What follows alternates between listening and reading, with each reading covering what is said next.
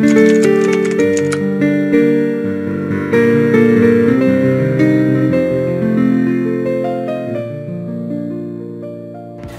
ngày 12 tháng 8 năm 2020, Thứ trưởng Bộ Y tế Nguyễn Trường Sơn, trưởng Bộ phận Thường trực đặc biệt chống dịch COVID-19 của Bộ Y tế tại thành phố Đà Nẵng, thông tin về trường hợp tử vong của bệnh nhân COVID-19. Bệnh nhân 431, bệnh nhân nam, 55 tuổi, địa chỉ tại Hòa Khánh Bắc, Liên Triểu, Đà Nẵng, tiền sử đái tháo đường tuyếp 1, suy thận mạn giai đoạn cuối, tăng huyết áp, từ ngày 16 tháng 7 đến ngày 30 tháng 7, bệnh nhân nhập viện được điều trị và cách ly tại khoa nội thận nội tiết Bệnh viện Đà Nẵng, được lấy mẫu xét nghiệm ngày 26 tháng 7. Ngày 27 tháng 7, bệnh nhân có kết quả dương tính SARS-CoV-2.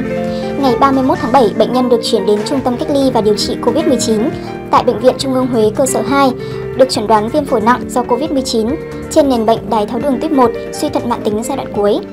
Từ ngày 31 tháng 7 đến ngày 4 tháng 8, bệnh nhân hôn mê, thở máy, thiếu máu, được truyền máu và lọc máu liên tục, được điều trị hồi sức tích cực thở máy xâm nhập. Tối ngày 4 tháng 8, bệnh nhân xuất huyết tiêu hóa, xẹp phổi hai đáy, phù toàn thân, viêm mô tế bào hoại tử, loạn dưỡng vùng cánh tay phải. Từ ngày mùng 6 tháng 8 đến ngày mùng 10 tháng 8, bệnh nhân hôn mê sâu, yếu tứ chi, nhịp tim nhanh, huyết áp dao động thấp. Ngày mùng 10 tháng 8, bệnh nhân bắt đầu sốt cao liên tục. Ngày 11 tháng 8, bệnh nhân có dấu hiệu ngưng tim, được hồi sức tim phổi hiệu quả. Ngày 12 tháng 8, 0 giờ, bệnh nhân trở nặng, mặt rời rạc, huyết áp tụt. Sau 30 phút, bệnh nhân ngừng tim hoàn toàn. 0 giờ 30 phút, bệnh nhân tử vong.